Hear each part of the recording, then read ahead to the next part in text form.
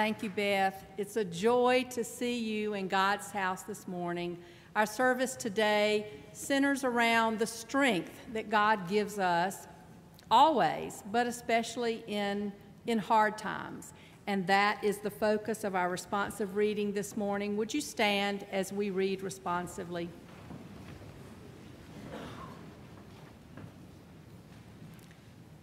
The Lord is my strength and my shield. My heart trusts in him, and I am helped. My heart leaps for joy, and I will give thanks to him in song. The joy of the Lord is our strength.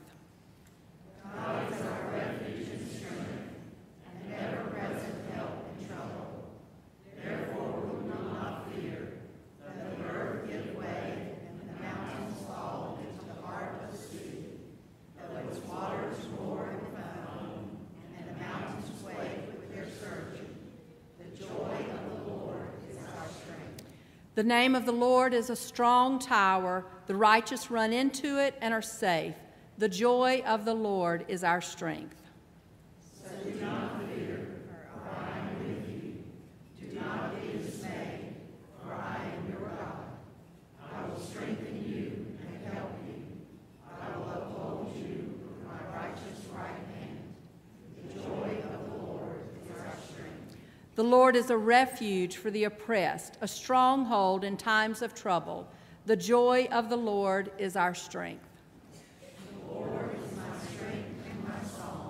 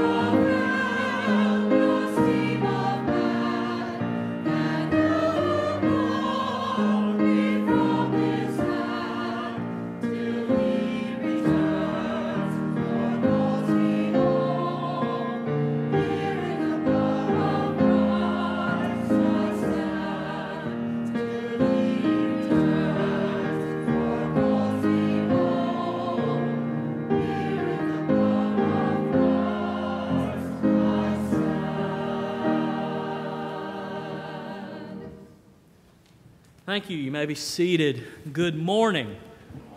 Good morning. It is good to see you, good to welcome you into worship this morning. We are glad that you are here to worship with us on this day that the Lord has made.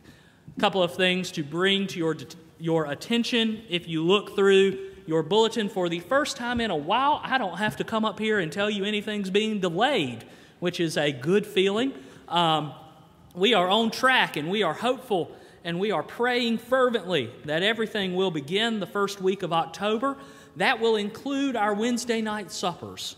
Um, it is crucial. I know it's been a while since we've had a Wednesday night supper.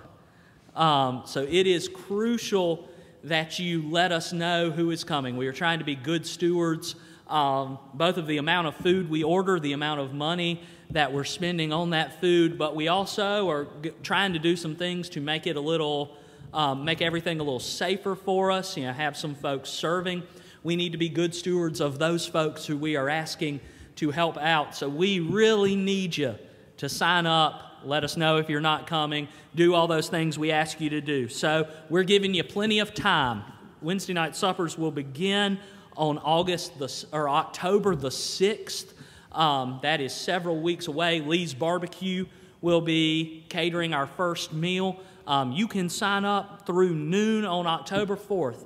Easiest thing to do is go ahead when the pew pads go by or call this week. Get yourself get yourself signed up so that you can um, so that we can have you there. You can get ready as things finally begin to pick back up as we move into October. Another thing that is happening this month and moving towards October are deacon nominations. Um, nominations are ongoing. There is a box outside of Lucy's office um, in, the, in the office area. You'll also find a list of those eligible. So if you have not gotten to that, if you've got folks you need to call and make sure they're willing to accept a nomination, that sort of thing, please do that um, because those will run through September 30th and then the list will be published. We will vote in October, so that is coming up. Be in prayer for those who hold this important role of service leadership in the life of our church. It is a joy again to welcome you to worship this morning. We are excited to welcome Dr. David Hull back with us this morning. He was with us earlier in the summer. Obviously, many of you know him from his time here at First Baptist as pastor, and he begins this morning as our transition pastor. He'll be with us in this next season, um, and I'm sure he'll have more to say about that, but it's a joy to welcome David here this morning and into this season of the life of our church. Would you join me in prayer as we continue in worship this morning? Father, how good it is to be in your house this day. Lord, we come here with all kinds of emotions pulling at us, with different distractions calling us in different directions. And so we pray this morning you would block all the difficulties and challenges and all that pulls us away from you. That in this hour and in this time, our focus might be on you, your love for us, your call to us the way we might live as your people.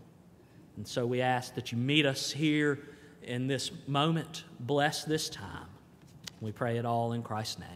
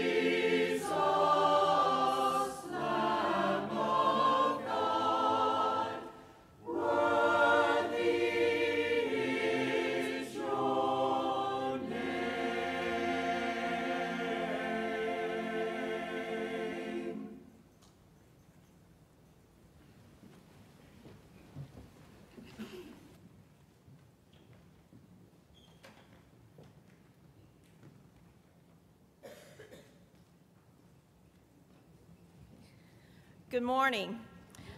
For those of you who don't know me, I'll give you a quick genealogy like you find in the Bible sometimes. I am Anna Brink, daughter of Nancy and Carol Thompson, granddaughter of Emma and Joe Cothran and Cromer and Sally Thompson, mother to William and Dylan and wife of Jeff. So that kind of covers all of the bases. So you can see that my story and uh, my roots in First Baptist, First Baptist Church are well rooted here. Um, I have a script, and but I don't do well with scripts. But I'm going to try to stay within my three to five minutes that Adair has given me here today.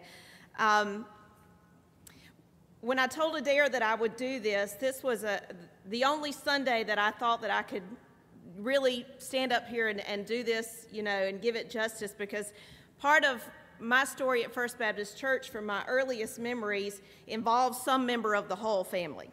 More often than not, it was Emily.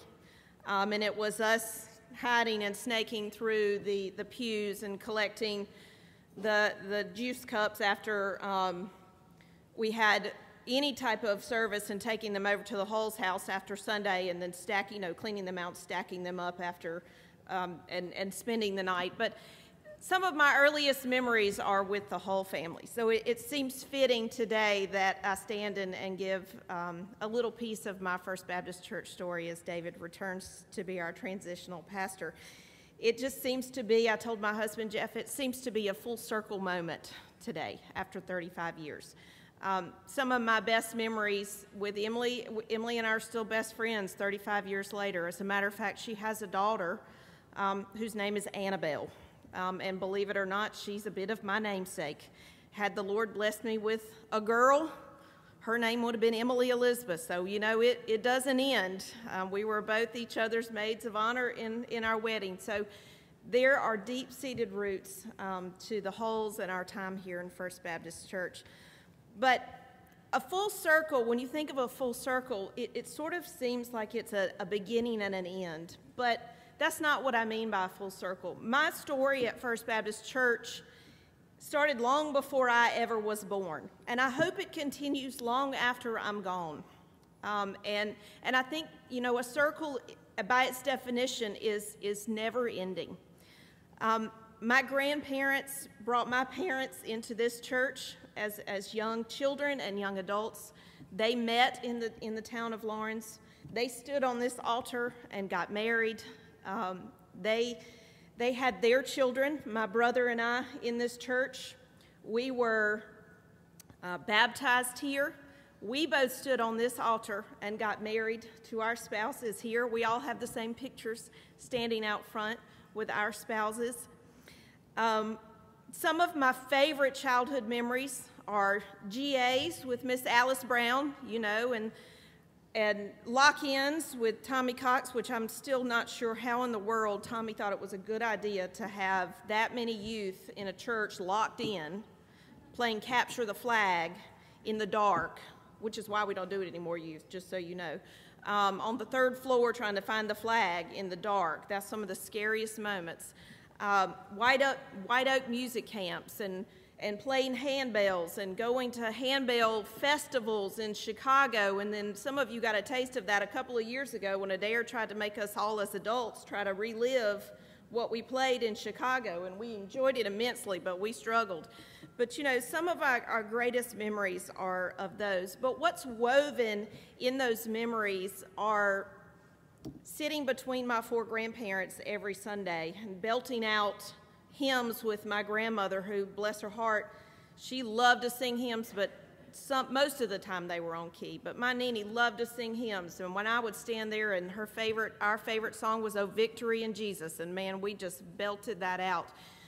Seeing my parents be active members in this church and continue to be active members in this church and sing in this choir, and then being able to see my children um, be dedicated here after Jeff and I stood up here on this altar and got married, standing next to Jeff when he got ordained as a deacon in this church, and um, seeing my children give their hearts to Christ and be baptized here, and be able to see my children enjoy the same things that I enjoyed as a child in this church. So that full circle moment just continues. And so I am, I am blessed to be on this full circle journey with all of you. I hope that this, this church, I hope your story, as you think of your story, whether you feel led to get up here and share it or not, I hope that you think that, that you will continue that full circle um, long after you leave this earth and, and go and, and live in heaven. But, but my circle started long before I was here, and I certainly hope it will, will continue long after I'm gone. Um, but I'm really blessed to be on this journey um, and this story with First Baptist Church.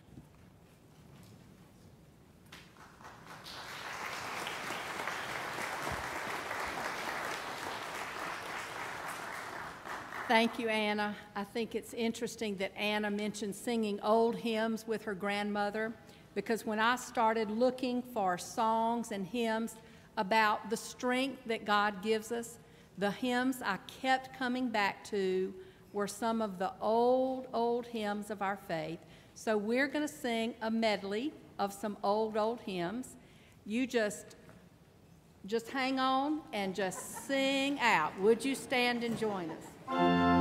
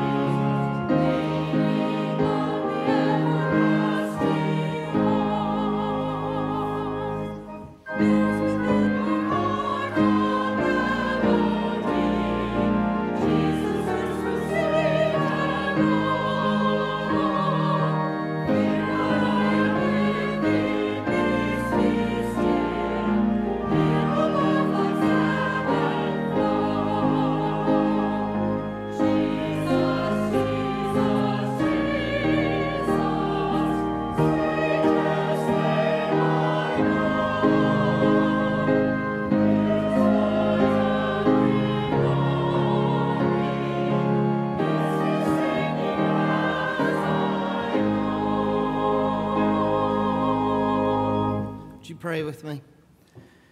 Dear Heavenly Father, for the gift of this day, we give thanks. Father, we give thanks for this church family, for opportunities to share our stories and hear how those are intertwined. But most importantly, Father, we give you thanks for being able to come together in this place today and just simply worship and praise your name. And Father, as we prepare to give, may we remember that this is also an act of worship. And as we give, Father, we pray that you would use these tithes and offerings to spread the news of your incredible love throughout this community and in this world. And we pray these things in Jesus' holy name. Amen.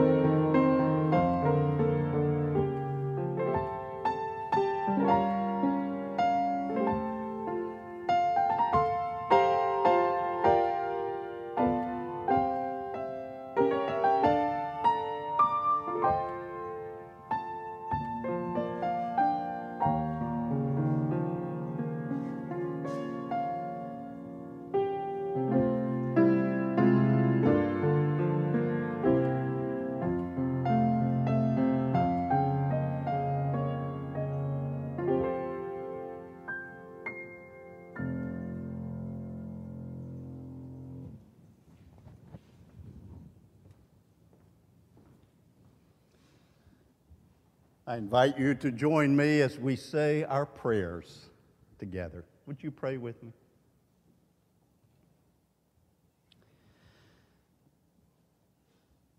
Gracious and loving God,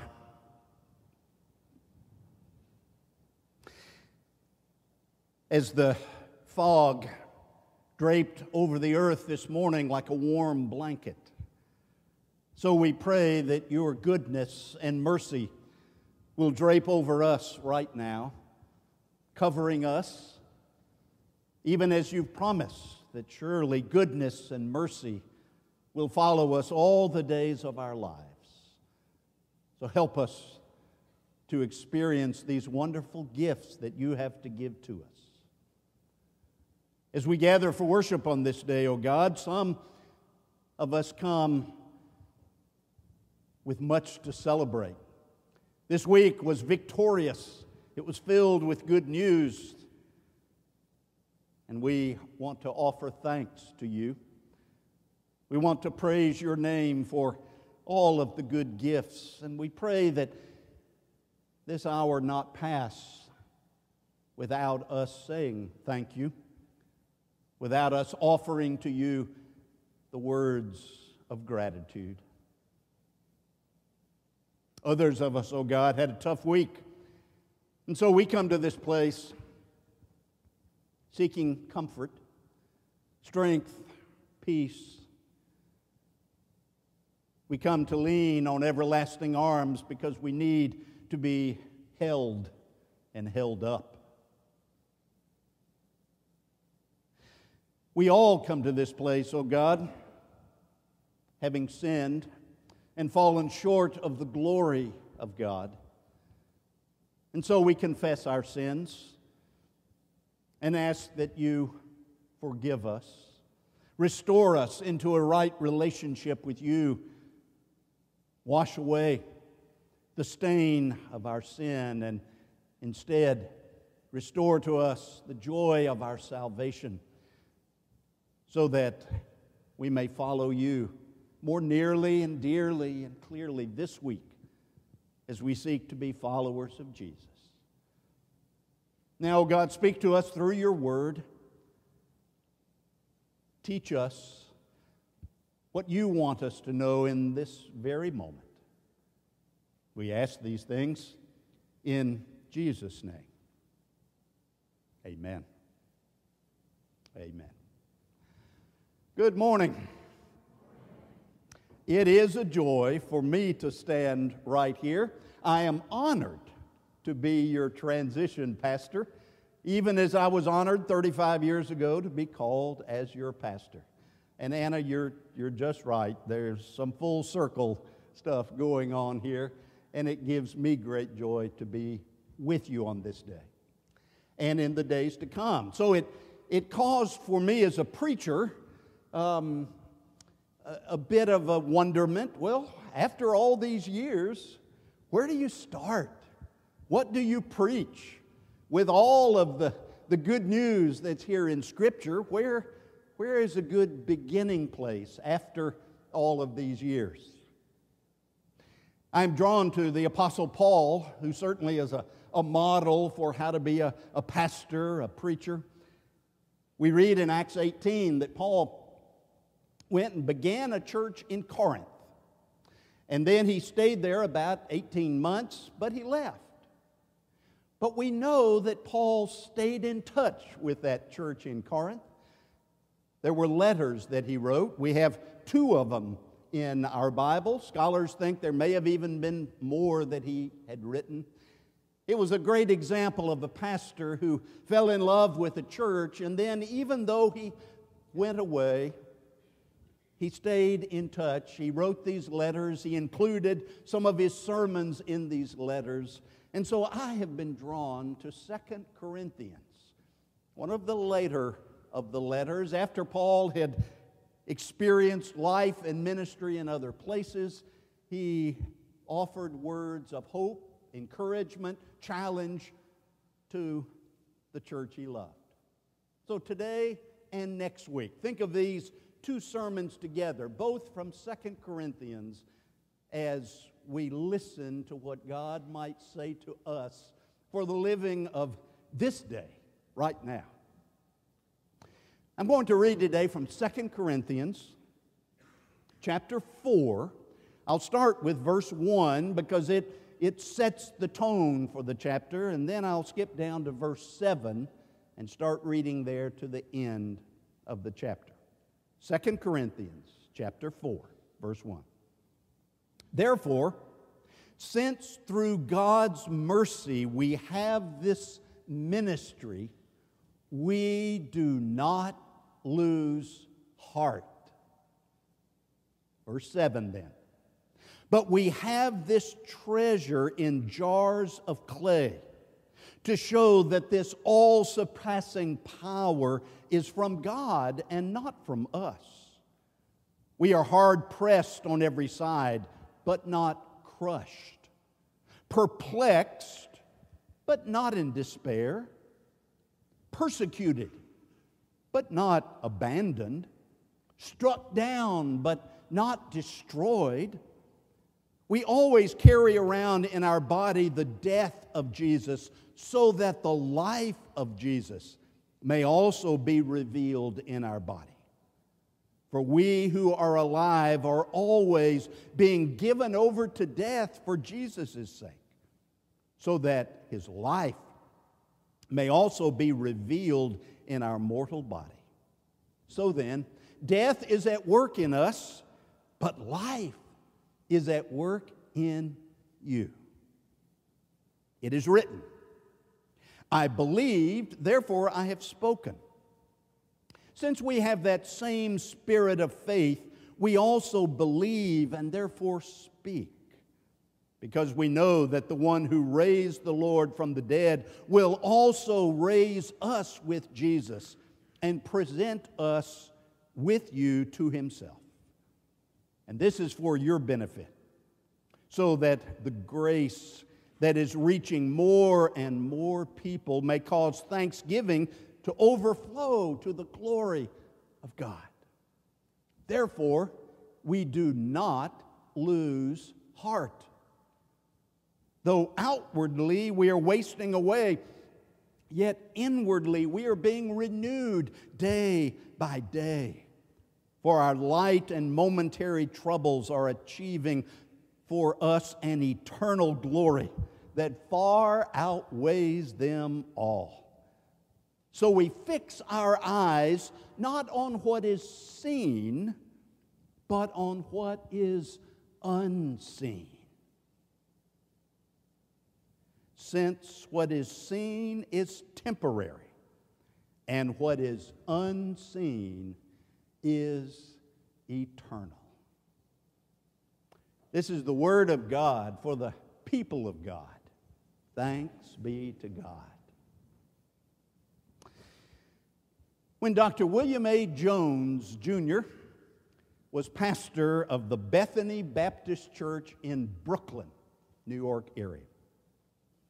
He once greeted a woman in the hallway, like pastors will do, and asked how she was doing.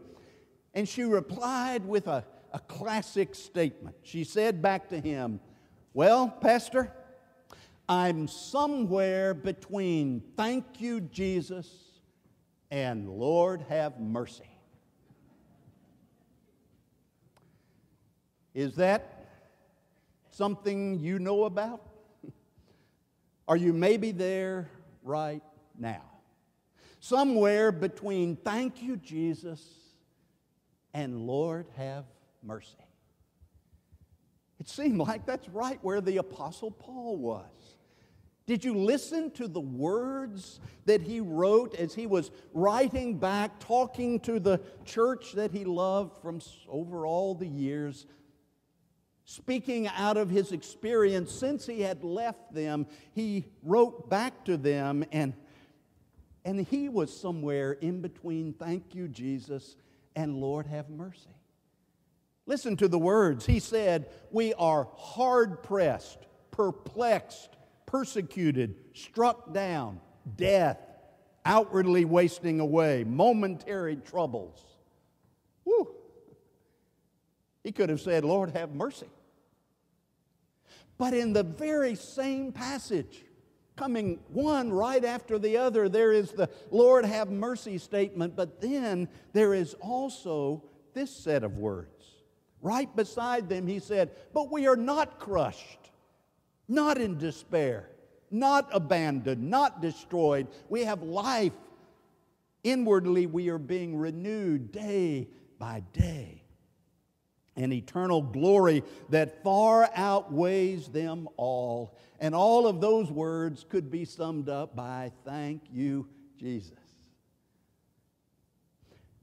So, in this litany of wonder and woe, at the beginning of it and at the end, it's almost bookended by this phrase We do not lose heart. He said that in, in verse 1 of chapter 4 and also in verse 16. It's, it's almost like an opening statement. We don't lose heart. And then he talked about all the struggles as well as all the blessings. And then he wraps it up by saying, We do not lose heart. How is it that Paul could say that? After a life of, of missionary journeys and hardships and struggles with uh, theological kinds of struggles and church struggles and government struggles, with his life in danger, how could he say that? How could he have this kind of perseverance and endurance and resilience that allowed him to come back as an older man, a little gray hair on him, and say, We do not lose heart. I want to know that secret, don't you? Because my guess is in these days, life is not easy. And for some of us, these are some of the hardest days of life that we might have known in a while. I want to know that that spirit about him, that faith about him that allows him to say, even in all of these challenges, God strengthens us in such a way that we do not lose heart. So, what was his secret? And what can he teach us today? In case you are living somewhere between, thank you, Jesus, and Lord have mercy. Well, let's look closely at this passage and see what we can learn. Because in this passage, Paul is really preaching a sermon. After he shared this story, and I love how you all are sharing the stories of your faith, that's exactly what Paul was doing. He said, I'm, I've been through all of these hardships. He was telling his story. And then, as soon as he gave testimony, he started preaching a sermon in verse 13. It is written, says, I believed, therefore I have spoken. Since we have that same spirit of faith, we also believe and therefore speak. It is written. Whenever you see that in the Bible, you can usually assume that he may be quoting from some other scripture. It is written, so he is saying, Here's my text for the day. Here's my scripture passage. It is written, and probably in your Bible, then it is in quotes. It is written in quotes. And his quote is, I believed, therefore I have spoken. Now, if you have a Bible that has notes, you know, down at the bottom or in the, in the middle, you'll see that he was quoting from Psalm 116, verse 10.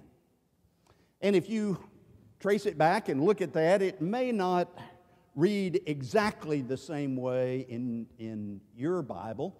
Uh, Paul was, in all likelihood, quoting from the Greek translation of the, of the Hebrew Old Testament called the Septuagint. And there it, it's the same, same passage.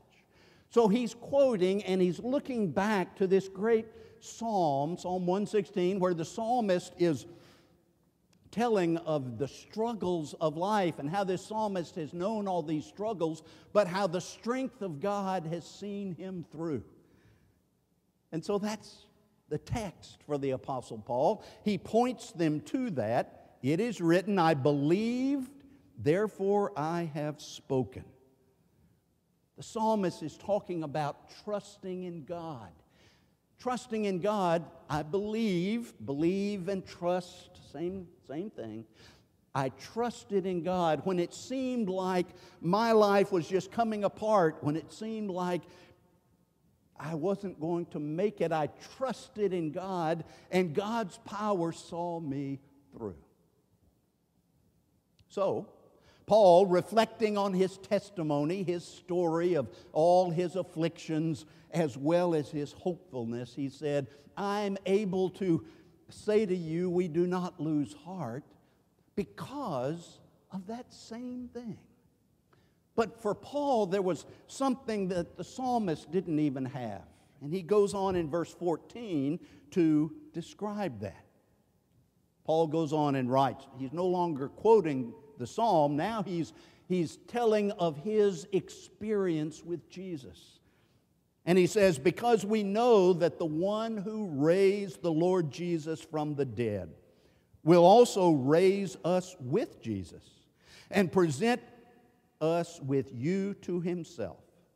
All this is for your benefit, so that the grace that is reaching more and more people may cause thanksgiving to overflow to the glory of God. So here's the first lesson. The lesson that the apostle was trying to teach the church he loved, the lesson that we need to hear right now in our, our lives. First lesson we do not lose heart because God is continuing to work for good. God is continuing to work for good. And just like the psalmist knew it and rejoiced in that back in in the older days, Paul is saying, even though I've had all of these struggles, I have seen how God is constantly working for good. And he goes on to describe um, the resurrection. Because we know that the one who raised the Lord Jesus from the dead will also raise us with Jesus. So he talks about the resurrection of Jesus. We know what happened there, but he's not just talking about Jesus. He's saying that that same power of God that caused Jesus to get up from the dead, that same power is available for us now. And in our afflictions and persecutions, we are not crushed because we have this power of God constantly doing good in our lives. That's good news. That's the good news that says we do not lose heart. That's the good news that Paul in another place in Romans 8 28 wrote about. You know that passage, don't you? Romans 8 28. And we know that in all things God works for the good of those who love him and are called according to his purpose. In all things. That means in the good things and the bad things, in the, the holy things and the things that aren't so holy. In all things, this God who still lives comes and brings this resurrection power that rose Jesus from the dead and can enter into our lives to allow us to not be crushed, not be overwhelmed and can strengthen us so we do not lose heart. A few years back, there was a well known pastoral counselor, chaplain, uh, author named Myron Madden. He had a great one line that says, The essence of despair is relegating God solely to the past. The essence of despair is relegating God solely to the past. Now, sometimes we do that, don't we? We may read the Bible and it sounds like it was so long ago 2,000, 3,000, you know, a lot of years ago. We, we read the Bible and we believe what it says. We believe that God caused Jesus to be raised up and we believe in the resurrection. The problem is we just put that in the past tense. It happened, it's what God did, you know. But Madden is saying, be careful now. The essence of despair is relegating God to the past, as if all of these great acts of God just happened yesterday, just happened back in the Bible time. And what Paul is trying to teach the Corinthians, this church that he loved, he's saying to them, You remember how Jesus was raised from the dead, but that same God is raising you and me. That same God is coming with power to enter into the challenges of our lives and cause us to have hope. And that's how we do not lose heart if we can understand that God was not just a God of yesterday and the past and history, that God is a God of today and will help you make it through school on Tuesday and make it through that meeting on Thursday and the tough conversation on Saturday. God is alive and well, and as, as Paul was saying that God, who is alive and well, will come to us and will cause us to be raised up out of our struggles, out of our miseries. And don't you know that Paul experienced that himself? Through all of his hardships, he was able to know that this one who had raised Jesus was still alive and came to him and strengthened him. That's how we don't lose heart because God is constantly working for good in all things. Don't ever let go of Romans 8 28, but link it to what he's teaching the Corinthians right here. We don't lose heart because in all things, in pandemic kind of things, in you, you fill in your struggle. Fill it in right there. In whatever that is, God is working for good to them who love Him and are called according to His purpose. And that means God is working present tense, future tense, not just something great yesterday. Let's don't give in to the despair of relegating God only to the past. Let's focus on what God is doing right now and in the future and hear these words, these hopeful words of Paul, so we do not lose heart. I love what the Christian preacher and author named Frederick Buechner says. He says, In God's economy, the worst things are not the last things. in God's economy, the worst things are not the last things. So, what was the worst thing? The worst thing was Calvary, when the, the perfect, sinless Son of God was nailed up to a tree and the world became dark and humanity was at its very worst. You don't get any worser than that. The worst thing. But in God's economy, the worst things are not the last. And God made sure that as bad as Calvary was, that was not the last word that great, glorious Easter morning was. And so, a God who is always working for good, always taking the worst things and making sure they're not the last things, a God who is not just living in the past and doing things way back in the Bible, but a God who is in our lives and hearts and stories and church right now. We do not lose heart because God is constantly working for good.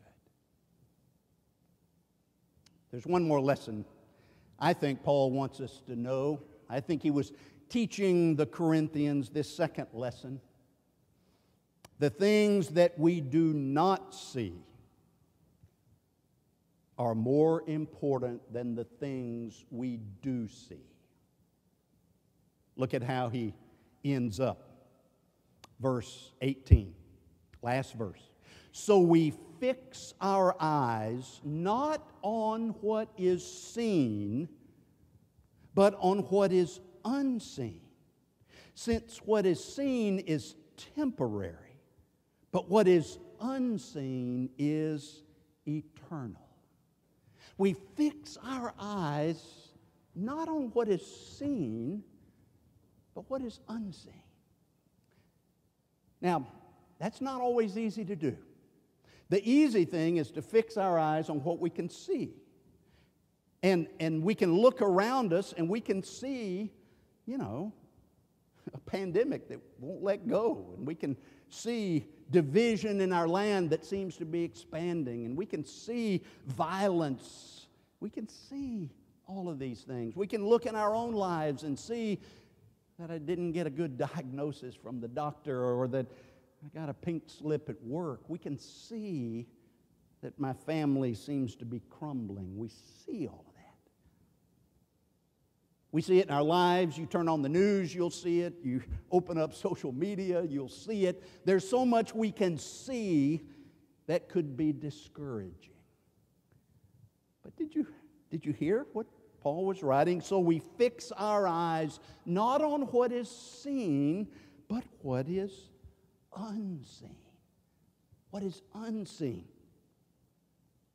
Since what is seen is temporary, but what is unseen is eternal. What is unseen?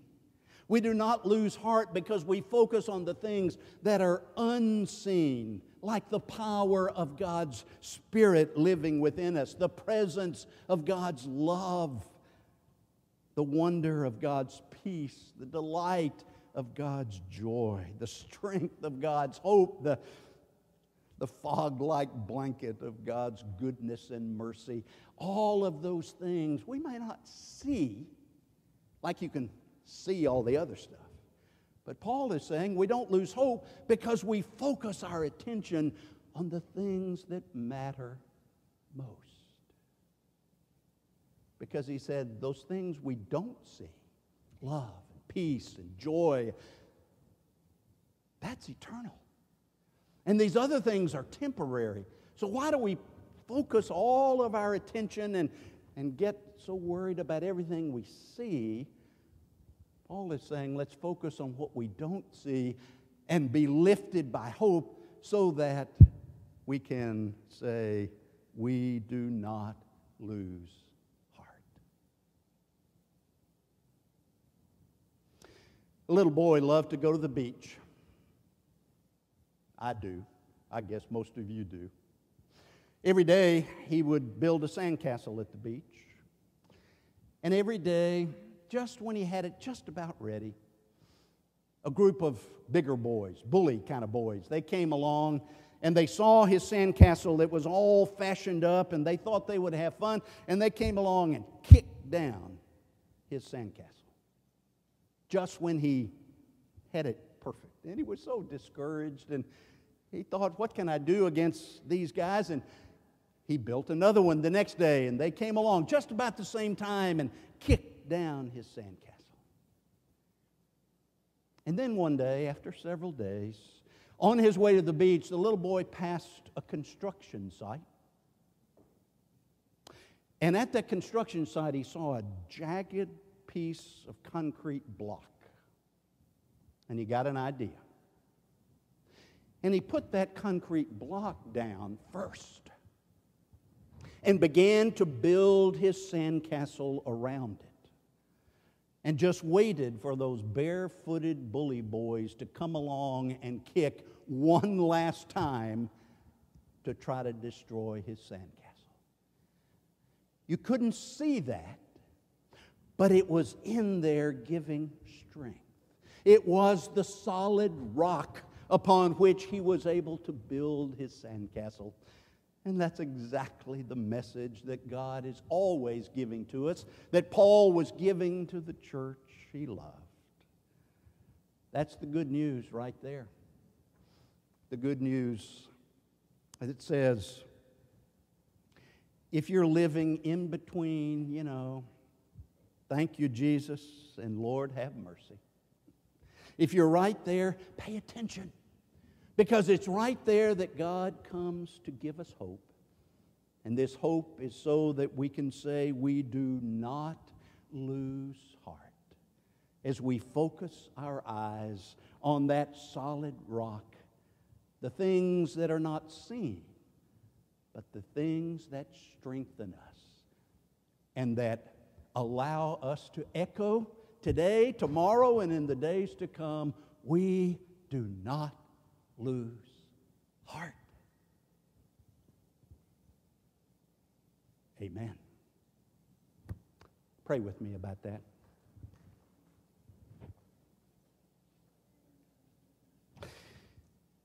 Dear God, it is so easy to lose heart, to get discouraged, to be overwhelmed and overcome. But we are grateful to learn from this good apostle as he taught a church long ago. Through the power of your word, may these words teach us today. And so, strengthen us that we may stand on the solid rock and build our lives on the things that are not seen, but that are eternal. We pray. In Jesus' name, amen. Is there a decision that you are ready to make that you would love to share with this dear church? If so, we're going to sing hymn number 406, The Solid Rock. On Christ, the solid rock I stand. And as we sing, if you're ready to move your membership into this church, would you come to the front? If you're ready to profess your faith in Jesus Christ as your Lord and Savior, Savior, would you come? Tommy will be right here at the front to receive you. Let's stand, let's sing. I invite you to come.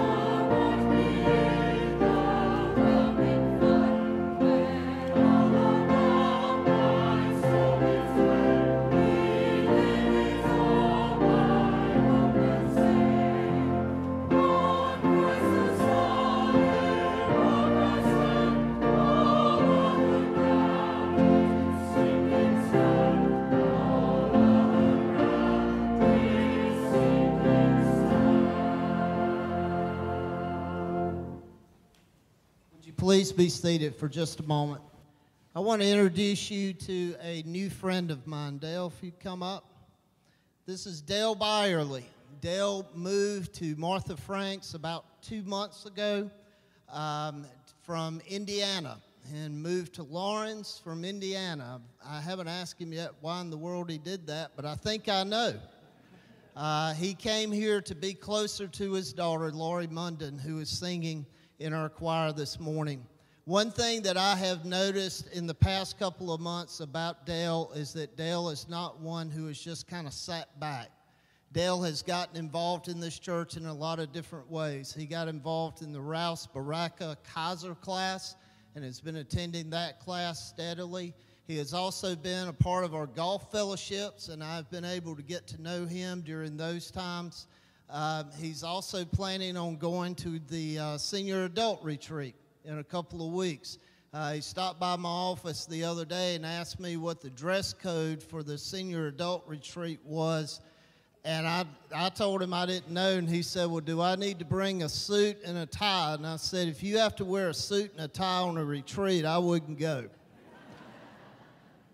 but he's got a great sense of humor, and I have loved getting to know Dale. And Dale comes this morning on statement to join into the fellowship of this church. And if you support this decision of Dale's this morning, would you let it be known by a great big First Baptist Amen? Amen. Amen. Dale, that's just a way of us saying welcome. And we're so glad to have you at our church. We're going to ask you to stand down front. Uh, Laurie, if you could come stand with him and uh, just come by and meet Dale and, and welcome him to our church today. What a great blessing it's been today as David has come and shared. And I want to say, David, welcome back. It's good to see you again, and I look forward to the time ahead uh, as we continue to serve together. But I want to ask now that David would come and lead us in our benediction as we close in our time of worship today. Thank you. And Dale, welcome. Thank welcome. you. All right. Would you stand for our benediction?